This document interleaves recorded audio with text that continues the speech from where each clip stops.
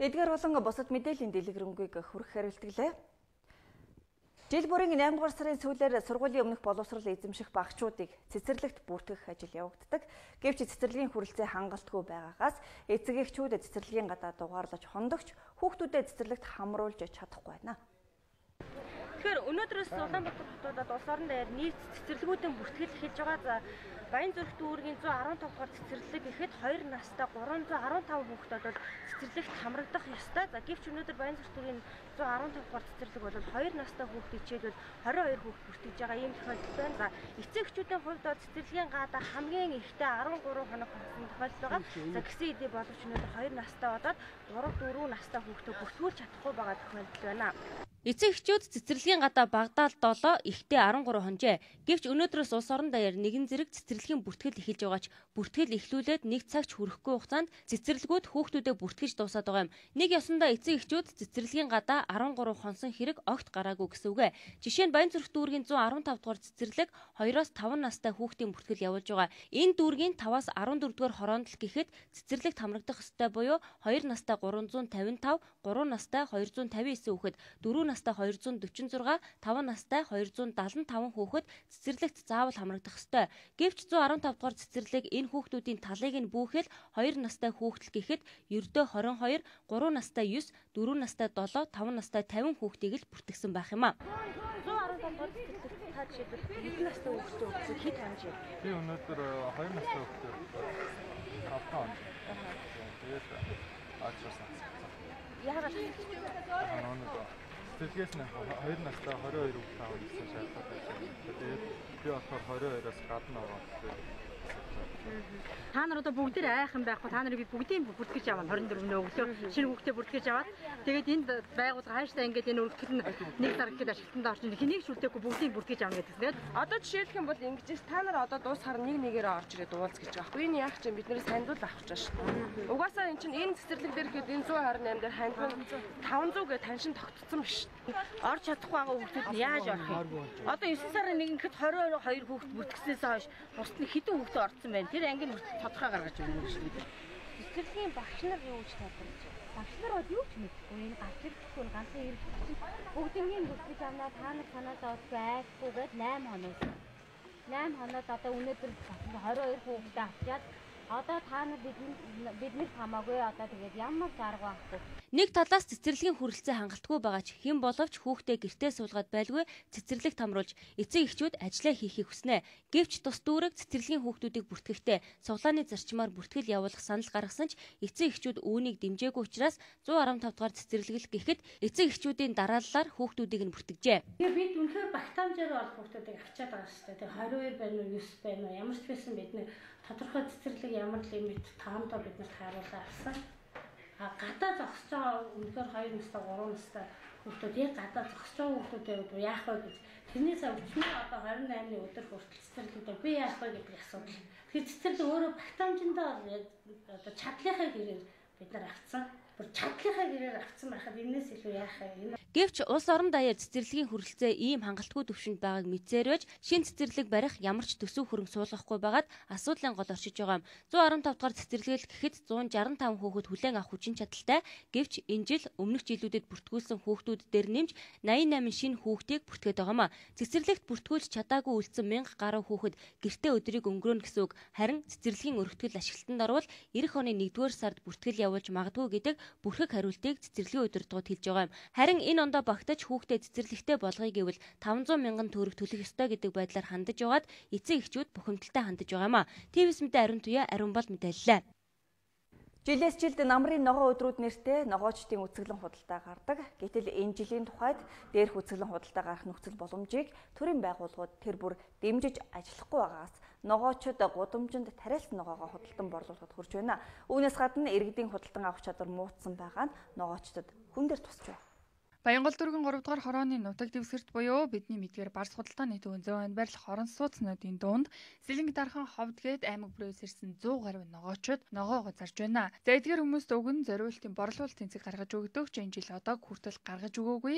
За дээрэс нь 38 хүнийг л байрлуулна гэсэн шаардлага тавьжээ. Монгол үйлдвэрлэлээ дэмжиж эх орны хөрсөн дурах сургацаараа дотоодын хэрэгцээг хангая гэж жил бүр ярьдагч энэ хэлбэр төдий боллоо гэдгийг дээрх байдал харуулж байна. За Монгол ногоо гэдэг утгаараа хямдхан бас чанартай байх хэвээр. За гэсэн ч өнөөдөр тийм нөхцөл энэ далга. Дээрээс нь иргэдийн худалдаа авалт тийм сайнгүй байгаа учраас ногоочдод давхар давхар дарамтыг явуулчихжээ. Нь тийх ёстой. Тэгээд энэ чинь зөвшөөрөл өгнө үгүй гэж хэлчихэж байгаа. Тэгээд хүмүүсийн санал хүсэл дээр л бий болгосон юм лээ. Тэгээд 38 хүн л ангад ерөөсө тоо заагаад байгаа. Маш олон үйлсэн. Тэр 38 хүнд одоо яг ямар шалгаруулалтайгаар оруулна гэсэн юм. Энэ болгоо нүг гарал үүслийн бичиг тодорхойлт одоо ногоо тариг нүнэ гэсэн тийм бичгээр шалгуулт явуулж байгаа гэсэн.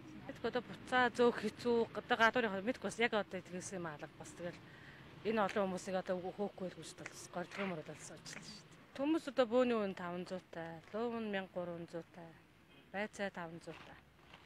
Бөөний үн ер нь хамаагүй юм таа шүү дээ. Аа. 4 5 хонжин. За одоо харин хизэнээс гэх юм бол энд юунаас л яна гэсэн. Нэгд өдрөөс гэрэмэрээ хийгээл оруулах гэсэн оруулаагүй л шүү дээ. Аа цагдаа нар дагуу магуу хөөжл байна. Дээш нь 38 хүн оруулна гэсэн яагаад л шүү дээ. Оруулж эхлэегүй л. За ховдын шагва килограмм нь 1200 таа байна. Сэлэнгийн шагва болохоор зэрэг килограмм нь 600 таа. Тэр зориултын тарих нь 38 хүн. Хамгийн гол нь зориултын тийм ногоо зарах байрлал бит байдгүй л дээ. Энэ жил харин бус жилүүдэг бодвол ногооны ханшаас харьцангуй өндөр байна. Авсан ногоо бол одоо шийг болох шиг. Шийга хэлэн мэдээж. Шийга одоо хэлэн 600, бөөний үн 500, 400 таа. Хүмүүс худалдаа авах чадвар ер нь хэрэг худалдаа авах гэж. Ер нь жил ногооны үн үнэтэй болоод тэр юм ер нь муу шүү дээ. Зэндээс хөвчлэн машинтай хүмүүс ногоо худалдаа авч байна. За ингэхдээ уут уутаар нь авч байна. Харин жирэргэл шинэ ургацын хүнсний ногоо худалдаа авч байгаа нь тун ховорхон харагдаж байна. Хаяныг худалдаа авч байгаа иргэд 2 3 кг-аас хэтрэхгүй байсан. За уг нь бол шинэ ургацын ногоо хүнсний зах дэлгүүрүүдээр худалдаалж байгаа ногооны үнээс хамаагүй хямд үнэтэй байсан юм а. За жишээлхэхэд төмөсний килограмм нь 600-аас 900 төгрөг, 38-аас 40 кг-ын шуудатай нь 22 мянган төгрөг. Өргөс тэмих 1 кг нь 1000-аас 1200 төгрөг, улаан лойл 1 кг нь 2500 төгрөгийн үнэтэй байсан юм а. Хэдэн 10 км-ийн цаанаас тээврийн зардалд өчнөө мөнгө зарцуулж ирдэгч тээврийнхээ зарлыг ногоондоо шингээж зарж хүртэл чаддгүй гэдгийг хэлж байсан юм а. Хамгийн гол нь тэд Монгол ногоог чанартай хүмүүс их авдаг гэдэг утгаар нь үн хөөрөгдөж зараагүй гэдгийг хэлж байгаа юм а. Хоёр жил дамнан үргэлжилж байгаа эдийн засгийн хямралыг гэтлэх дөрвтэй алхмыг бодлого баригчид хийж чадахгүй нь хямралаас гарах ганц гарц нь гадаадын хөрөнгө оруулалт биш гэдгийг эрх баригчдад сануулж гадныхныг хэд их шүтсэн алдаатай бодлого Монгол улсыг хүжилт хөтлөж чадахгүй байгааг судлаачид шүүмжиллээ. Өнөөгийн эрх баригчид дотооддоо бодлогоо тодорхойлж чадаагүй мөртлөө эдийн засгийн хямралаас гарахын тулд байгалийн баялгаа гадныханд худалдахаар улаарч байгаа нь өөрөө алдаатай бодлого гэдгийг судлаач шүүмжилж байна. Хямралаас гарахын тулд оюу толгой таван толгой гээд бүтээн байгуулалтын төслүүдээ бэлэн мөнгө болох замаар зөвхөн гал унтраах төдий арга хэмжээ авах нь Монгол улсад хохирлтой. Довчхондоо бол өрийг өрөөр дарах замаар ам зогоохоос өөр бодлого эрх баригчдад алга байна. Яг энэ жишгээр явснаас ууж эцэст нь баялаггүй үлдэж ядууралд орсон хэд хэдэн улсын муу дуршлаг байгааг ярьж байна. Тэгэхээр манайх шиг байгалийн асар их баялагтай тэр улс орнууд байгаа нефтийн баялагтай, алмазын ордуудтай байгалийн маш том ордуутай. Тэгсэн мөртлөөс ерөөсөн тэд нар өөдөлж чадахгүй дэлхий дээрх одоо хамгийн ядуу орнуудын л жагсаалтыг хэл тэр орнууд л дүүргэж штэ. Өөр нь өөрөө том том уурхаануудаа ажилуулахгүй байх тэр учир шалтгаан болчиход байна штэ. Тэгэхээр эн чинь бас л ялгаа байхгүй төрийн бодлого чинь буруу явж байна л гэсэн л үйл болоод байгаа. Тэр гадны хөрөнгө оруулалт гэдэг бол яг тодорхой хэмжээгээр нөлөө үзүүлж болох ч гэсэн манай улсыг хөгжүүлэх бүр тийм гол суур одоо гол ийм хөдөлгүүр ногт биш штэ. Манай Монголыг хөгжүүлэх юм бол ерөөсөл монголчууд монголчуудынхаа тэр үйлдвэрлэлийг нь дэмжих хэрэгтэй, эдийн засгаа яаж жоохон өөдөн татаж болох вэ гэдгийг эзний ёсоор л бодох тэр сэтгэлгээл байх болно. Дэлхийн олон улс орон хямралыг үндэсний үйлдвэрлэлээ дэмжиж чадсанаар давж гарсан жишээ бий. Харин манай улсын хувьд дотоодын үйлдвэрлэлээ дэмжиж хямралаас гарах ямар ч оролдлого хийхгүй байгааг эдийн засагч шүүмжилж байна. Хамгийн гол зовлон нь Монгол улс засаглалын хямралд орж Монголын төр суйлдаж ажиллах чадамжгүй болжээ. Бид нар бол нөгөө эдийн засгийн яаж жоохон өвдөн татах юм бэ гэдэг асуудлыг ярьж хэмжихгүй дандаа засаглалын асуудлыг л яриад эрх мэдлийн хэрхэн яаж хуваах вэ гэдэг асуудлыг л яриад байгаад л хамаг учрал байна л да. Энэ бол бидний зүгээр үнэхээр энэ зовлон болоод байна шүү дээ, тий. Тэгэхдээ эрх баригчид өөрсдөө үнэхээр энэ төрийн зөв бодлого явуулаад байх юм бол тэртээ тэргүй хүчтэй төрөөд байгаад хүчтэй хөгжилтэй улс орон гарч ирэх ёстой л дээ. Тэгтэл өөрөө төр нь өөрөө хүчтэй байж чадахгүй юм шүү дээ. Тийм эрх баригчид бол шийдвэрэж гаргаж чадахгүй. Улс орны өмнө тулгамдсан чухал асуудлуудыг хойш тавьсан их ус төржилд сандо ширээний төлөөх зуны 3 сарын тэмцэл хизээ зэгцэр нь тэр цаг засаглалын ямарлын ард гарна. Харин эдийн засгийн хямралаас гарахын тулд Монголын төр хизээ ямар алхам хийх нь өнөөдөрч бүрхэг асуудал хэвээр байна. ТВС мэдээнд Батсүрэн уран хас мэдээллээ. Засгийн газрын 6 сайдын орон тоонд хүн томилоог 20 хонож байна. За уг нь засгийн газрын бүрэлдэхүүнээс огцорсон сайдуудын нөхөн томилгоог хуулиндаа 30 хоногийн дотор томилох ёстой гэж заасан боловч ерөнхий сайд сайдуудынхаа нэрийг өргөн барихгүй байгаагаас энэ ажил удаашрч байна. Түүгээрч барахгүй ерөнхий сайд 6 сайдынхаа нэрийг ээлжид бус чуулганаар хэлэлцүүлэхгүй, эрх намрын чуулганаар өргөн барина гэж шийдвэр гаргажээ. Засгийн газрын 6 сайдын оронтой эзгүй байна. Өөрөөр хэлбэл шадар сайд, хөдөлмөрийн яам, сангийн яам, байгаль орчин ногоо хөгжил ажилжуулчлалын яам, зам тээврийн яам, барилга хот байгуулалтын яамыг толгойлох сайдуудыг томилоогүй 20 орчим хонож байгаамаа. Гэвч ерөнхий сайд сайдуудын нэрийг өргөн барихгүй, эрх намрын чуулганаар өргөн барихаар болоод байна. Гол шалтгаан нь засагт хамтрах намууд хилэлцээрт хүрч чадахгүй байна гэсэн товчхон тайлбарыг өглөө. За ээлж тус чуулган хуралдах хэсэг нь бол улсын хурлын мэдлийн хэрэг. Тэнд одоо ерөнхийлөгч хоргийг авч хэлцэх ийм асуудал ус байгаа. Тэгэхээр ээлж тус жолон хуралдсан ч гэсэн ерхий сайдлын асуудлаар 6 сайдыг өргөн барих асуудлаар одоо хандах энэ удаад боломжгүй тийм учраас одоо 10 сарын ихээр эхлэх намрын чуулган нарын асуудлыг өргөн барья гэсэн ийм шийдвэрийг бол гаргаад байна. Засгийн газрын хурал даамал тогтмол шийдээд шуурга шийдвэрээ гаргаад явж байгаа. Энд бол ажил салгарсан зүйл байхгүй гэдгийг бол бас хэлхэн зүйтэй байх гэж бодож байна. Засгийн газрын тухай хуульд засгийн газрын бүрэлдэхүүнийг нөхөн томилохдоо 30 хоногийн дотор хийх ёстой гэсэн заалт бий. Гэвч энэ удаад ерөнхий сайд ээлжид бус хуралдаан зарласан ч засгийн газрын 6 сайдын нэрийг улсын хуралд өргөн барихгүй гэж байгаа нь ардсан нам сайдад нэр яригдсан гишүүдэд дэмжихгүй байгаатай холбож байна. Тиймээс ч өнөөдөр ардсан намын гүйцэтгэх зөвлөлийн хуралдааныг зарласан юм. Тус хурлаар ардсан нам дараагийн шин сайдуудад хэнийг нэр дэвшүүлэхээ тодруулах юм а. Харин эрх намрын чуулган хүртэл сайдгүй яамдуудыг одоогийн зарим сайдууд төр орлон гүйцэтгэж байх юм. Тухайлбал шадар сайдыг хууль зүйн сайд төрлөж ав. Байгаль орчин ногоон хөгжил аялал жуулчлалын сайдыг гадаад хэргийн сайд Пүрвсүрэн сангийн сайдын үргийг Монгол улсын сайд Инх сайхан мөн засгийн газрын хэрэг эрхлэх газрын дарга баяр цогтноор төр орлон гүйцэтгэж байгаад барилга бот байгуулалтын сайдыг уулуурхаан сайд Жигжид, Замтээврийн сайдыг Ажуулдврын сайд Эрдэнэт, Хөдөлмөрийн сайдыг Хүн амын хөгжил нийгмийн хамгааллын сайд Эрдэнэ нар төр орлон гүйцэтгэж байна. Харин сайдуудын нөхөн томилгооны хугацааны асуудалд ээлжид бус чуулганаар 6 сайдыг огцруулсан учраас хуульд засгийн газрын бүрэлдэхүүнийг томилох асуудлаар тодорхой хугацаа заагаагүй юм байна. Тиймээс дараагийн 6 сайдыг эрх намрын чуулганаар хилцгээр болж байгаа юм байна. Твс мэдээ ариун туяа ариун бол мэдээллээ. Өршөөлийн тухай хуулийн эцсийн хэлэлцүүлгийг хийж дууссан за ёсчлоод байгаа. Хэдийгээр Монгол улсын ерөнхийлөгч тус хуулинд хэсэгчлэн хориг тавиад байгаа ч хоригийн хугацаа дуусгаруулсантай холбоотойгоор өршөөлийн тухай хуулийг төрийн мэдээлэлд хэвлэн нийтэлжээ. Ингэснээр өршөөлийн тухай хууль иргэдийн өмнө нээлттэй болж байна. Улсын их хурлын ээж тус чуулганаар өршөөлийн тухай хуулийг хэлэлцэн баталсан ч ерөнхийлөгч хэсэгчсэн хориг тавиад байна. Гэвч тус хуулийг бүрэн ихээр нь төрийн мэдээлэл эмгэтгэлд хэвлээд байгаа нь зарим хүмүүсийн дунд санаатай үйлдэл хэмээн хэлэгдээд байгаа юм. Өөрөөр хэлбэл ерөнхийлөгчийн хэсэгчсэн хоригийг хэлэлцэлгүй төрийн мэдээлэл эмгэтгэлд хэвлэсэн нь хуулийг бүрэн ихээр нь хэрэгжүүлнэ гэсэн хардлагыг төрүүлж байгаа юм а. Харин энэ байдалд улсын хурлын хууль зүйн байнгын хороо тайлбар хэлсэн юм. Өөрөөр хэлбэл ерөнхийлөгчийн хоригийн хугацаа дууссан учраас өршөөлийн тухай хуулийг хэвлэхдээ дөрвийн нэг болон 7 дугаар зүйлд хориг тавьсан байдлаар нь хэвлэжээ. Төрийн мэдээ сэтгүүл бол яг яс журмын хадаагаа ямар ч алдаатай хэвлэгдээгүй. Энэ дээр бол ямар ч эргэлзээ байхгүйгээр төрийн мэдээ сэтгүүлийг бол үнэн зөв нийтлсэн гэж үзэж байгаа.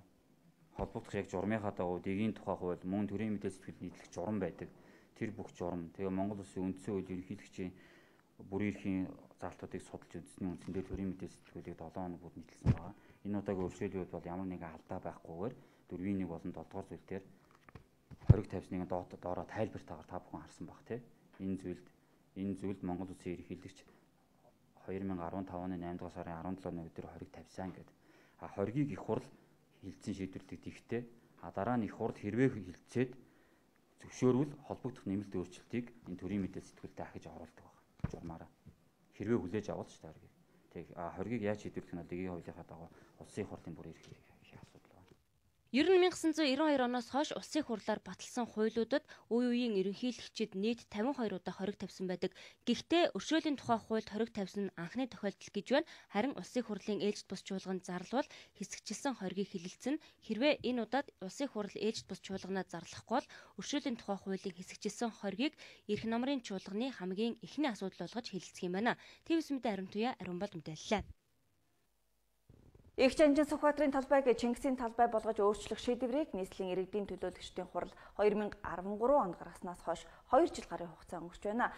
Тэгвэл тухайн үед нийслэлийн иргэдийн төлөөлөгчдийн хурлын 6-аас 7 хүн эрх барьж байгаагаараа далайлган намчирхож хууль бус шийдвэр гаргасан гэж үзэж өнөөдөр Игч анжин Сүхбаатарын үр хүүхдүүд төв талбай дээр арт түмний саналыг авч эхэлжээ. Нийслэлийн иргэдийн төлөөлөгчдийн хурлаас 2013 онд гарсан энэ шийдвэр нь Монгол улсын хэд хэдэн хууль мөн засгийн газрын тогтоолыг зөрчиж, улсын хурал засгийн газрын бүрэн эрхэнд халдсан шийдвэр усныг тодтоглоо. Энэ мэтлэн зарим улс төрчид эрх мэдлээр хүч төрөн их чанжин Сүхбаатарын түүхэнд гүйцэтгэсэн гавьяаг баллуур дах ашиг сонирхол байгааг шүүмжилж асуудлын гол нь арчсан намынхаа ардын өвсгөл дургу учраас Сүхбаатар жанжин хойч үедээ адлагдах ёсгүй. Сүхбаатар жанжны гавья бол нэг улс төрийн намын баллуур дах биш гэж үзсэн учраас их жанжны үр хүүхдүүд Сүхбаатарын талбайг Чингисийн талбай болгох нь зөв үү гэдэг дээр иргэдийн саналыг сонсч байна. Ганцхан талбайг одоо өөрчлөснөөр Сүхбаатарын нэр хүндийг түүхийг тэгж одоо баллуурдаж болохгүй. Чадахчгүй. Хүчин хөрөхгүй үнэндээ Сүхбаатар гэдэг чинь бол гарамгай жанжин, цэргийн жанжин хүн. Монгол улсын тусгаар тогтнуулсан хүн. Өөрөө гардан байлдаанд орж явсан хүн. Өнөөдөр 13 цагийн байдлаар 800 гаруй хүн саналаа өгсөний 90 гаруй хувь нь Сүхбаатарын талбай хуучин нэршилтэйгээ үлдэх ёстой гэсэн санал өгчээ. Одоо бол нэг 800 орчим хүн саналаа өгсөн байж байна. Энэ Сүхбаатарын талбайгаар бол явж байгаа иргэдээсээ бол энэ саналыг авж байна. Нийт саналын бол ер нь бараг 100% нь бол Сүхбаатарын талбайгаараа авч үлдъя гэсэн саналтай байна. Харин Сүхбаатарын талбайн нэрийг өөрчлөх гоц шалтгаан бол байхгүй гэж үзэж байна. Тэгэхээр одоо онгоцны бодол нь Чингис Сүхбаатарын талбайн Чингис өргөн чөлөөн Чингис архин Чингис бүх юм Чингис болцоор чинь бусад түүхээ үгүйсгэсэн хэрэг болно.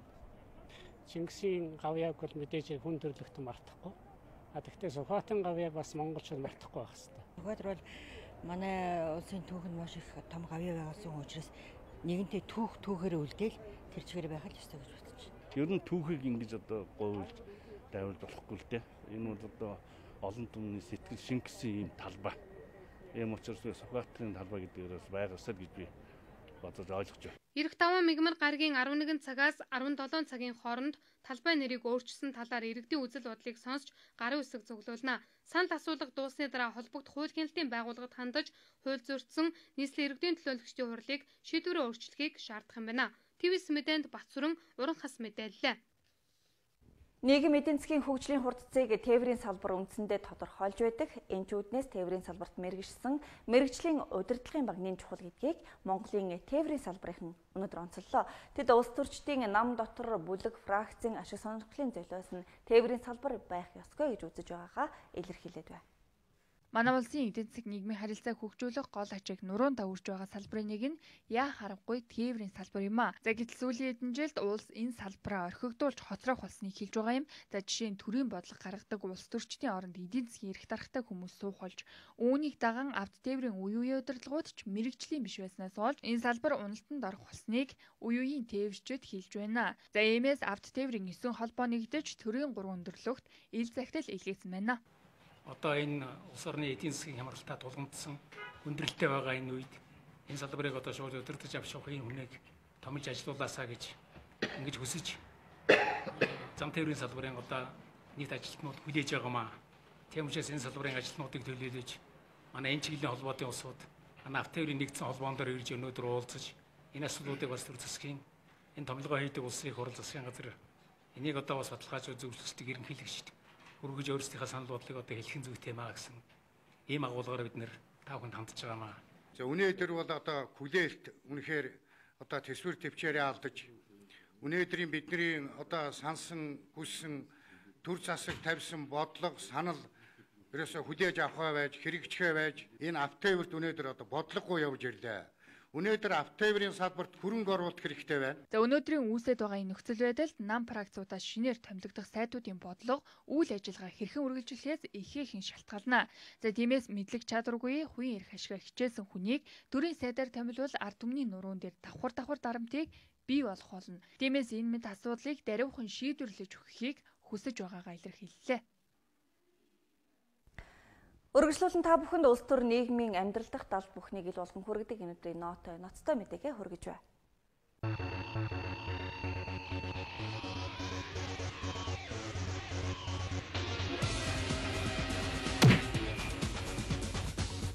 За хичээлийн шинжил эхлэхэд оюутны сургалтын төлбөр ядуу Монголын бор залуус сүрприз барьсан байж байгаа боллоо.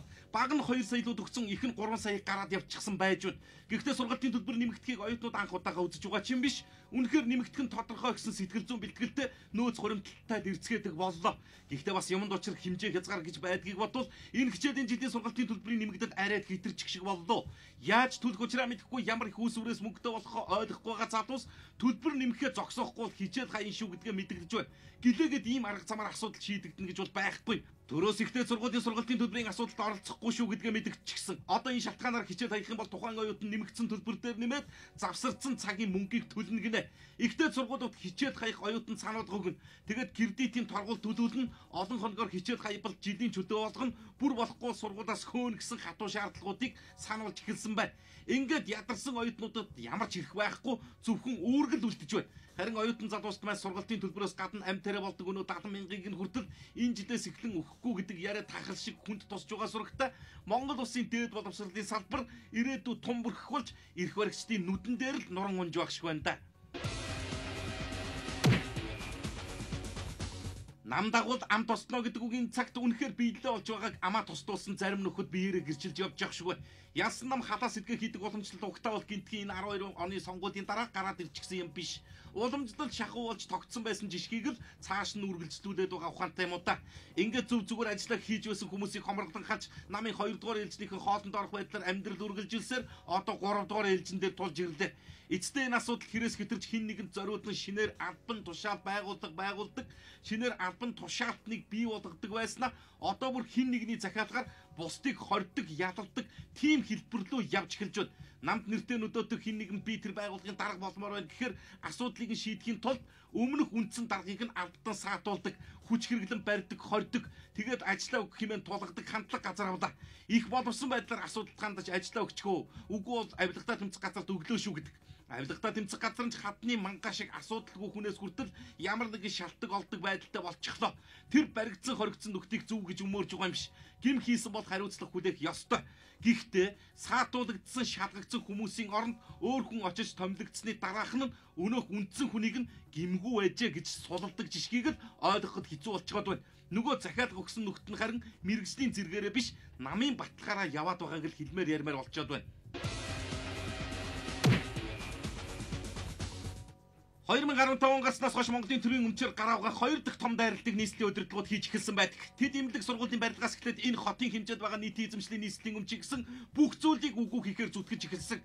Гэтэл энэ хувьчлал нэртэй ловрийн салхи намжааг байхад засгийн газар улсын хэмжээнд байгаа цөөн хэдэн объектуудын амийг таслахаар зорж эхэллээ. Тэдний тарих угаалт гайхалтай. Монгол төрийн өмчийг аж ахуйн нэгжүүд ашигтай ажиллагаа байжхлаа. Хамгийн бага нь ганцхан жилийн дотор 800 саяас эхлээд дээдлэн 4 тэрбум төгрөгийн алдагталтай ажилдаг цоорхой кармашиг гоожулдаг газар болчлоо.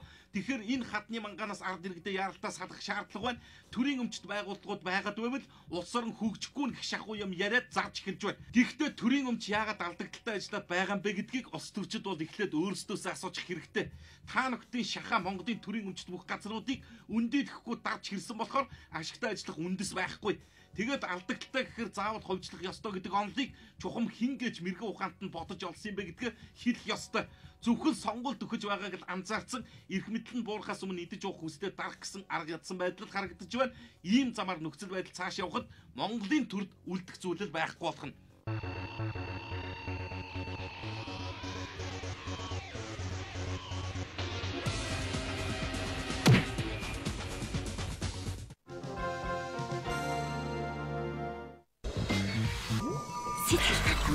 Kierujmy, Oj,